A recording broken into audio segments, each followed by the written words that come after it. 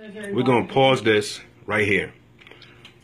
I want y'all to see there's no gun right here. And then I'm going to play it again. And then I'm going to try to slow motion it so that you can see the gun drop. And then now, I saw another gun drop down on the scene. Nobody's talking about this. This is CNN live. All right, let's do it. Well, action. Okay, boom. This is in slow motion. Yeah, man. They they watch this. Slow motion. No gun on the ground. No gun on the ground. Keith Scott probably dead right there, right now. You see the other brother in the back moving. All right. I'm telling y'all, this they out here killing us.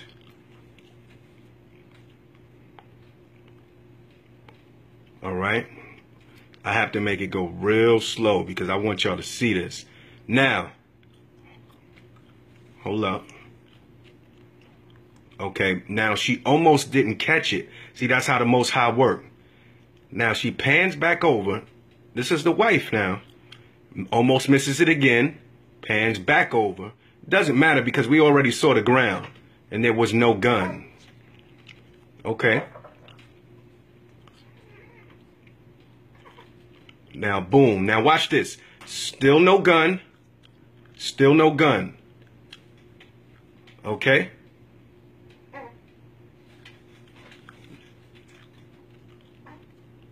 Now, you saw him point. You saw the cop in the, you saw the cop in the um, red short shirt point. Like he's trying to cause a distraction, right? No gun. No gun on the ground. Look close. Slow motion. No gun on the ground. They're not talking about this on live TV. And then you got a guy up there saying, I find it very hard to believe that 12 cops collide all the way up and down the chain. Slow motion, watch. Now, he's going in his pocket right there.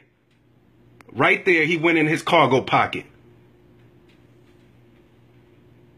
The other brother looks like he's over there saying, wait, wait, don't do it yet. Now that is in slow motion and I can see it.